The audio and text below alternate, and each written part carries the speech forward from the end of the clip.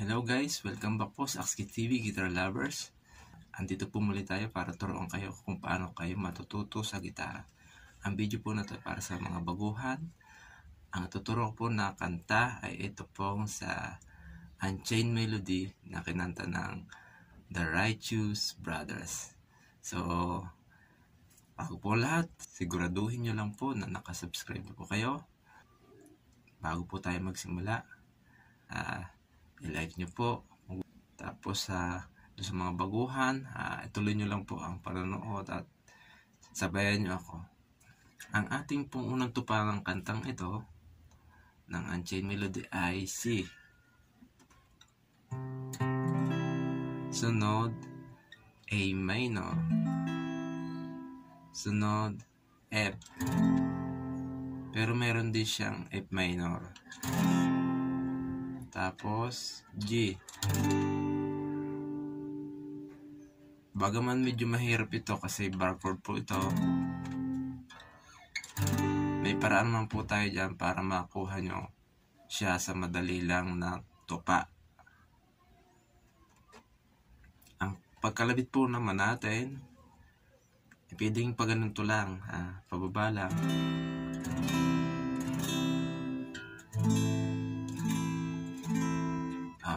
Simulan na po natin. Kunin nyo na yung gitara at sabayan nyo po ako. Po si, siguro man po alam nyo po yung si. Yan na. Oh, pantang po natin, himigan po natin. One, two, three.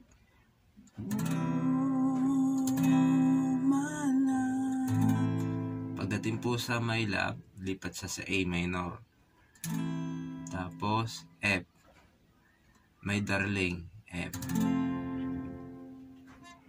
Oh, my love, my darling. Kung medyo mahirap po yan, dahil barcode po yan, pwede yan po yung ganyan. Parang silang. Kasi kung medyo mahirap yan eh. Pwede yung ganyang style ba?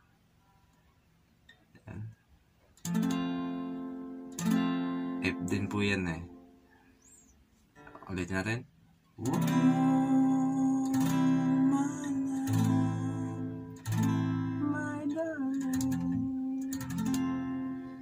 Tapos G. Eh kung mahirap din po muli ito,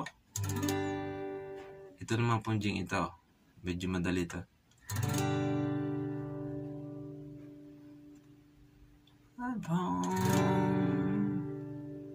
Girl, for your touch. Pagdating doon sa touch, balik po ulit yan sa C. Tapos, along, A minor. Along. Along. Lonely time. A. E minor. Tapos balik ulit siya sa C. And time goes by. Tapos balik po ulit siya sa F. So slowly. And time can do so much.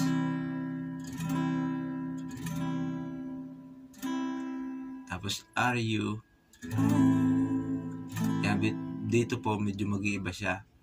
Are you? Di A minor siya. Are you? Bigla siyang ah, uh, baga lilikdang siya.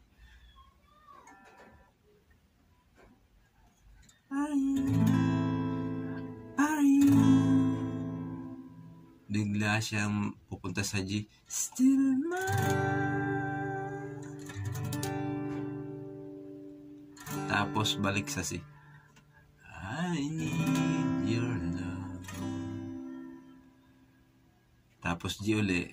I need your love. Yan.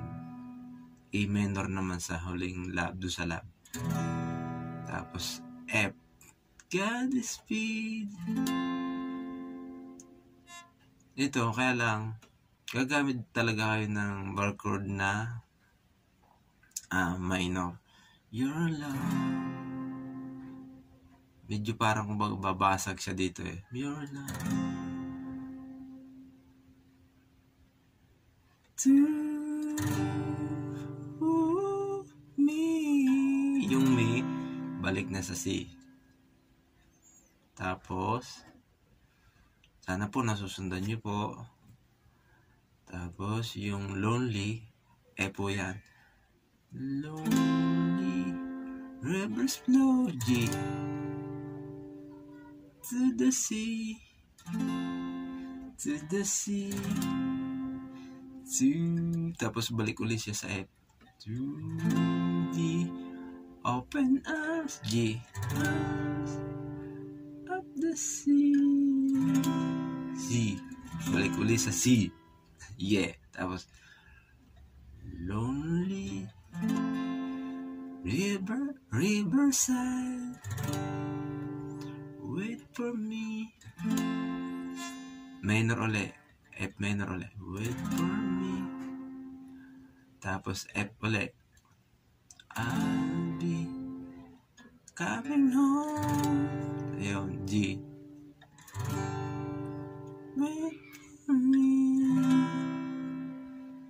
So, ayun po. Sana po inasusundan nyo. Bale, yung kanta na yan na inulit lang. o Inulit lang. Bale, balik na po ulit siya sa wo.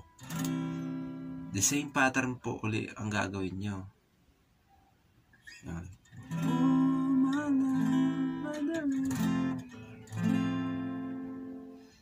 So ngayon, pagdating naman sa ah, pagkulbit, pagkalabit, bawa nga, bago nga lang, pag ganun-ganun lang muna kayo, mellow touch pa. Pero pag medyo sanay na kayo, pwede sa kanyo na lang sabihin,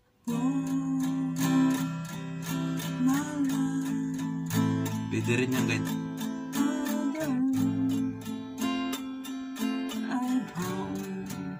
Yan, pwede niyo pong ganyan ang kumbaga, depende sa inyo po kung paano mo siya kukuhanin.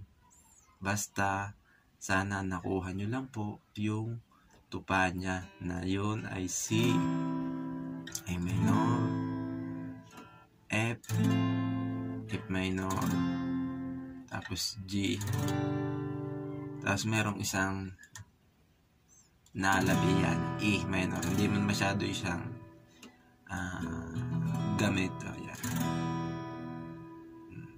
So, ganun. Balikan nyo lang po yung aking ah, unang verse. Tapos, ganun lang din. Same pattern lang po. Sana po may natutunan kayo. And uh, huwag nyo pong kalimutang mag-subscribe po kayo. Thank you. At magbabalik, God willing.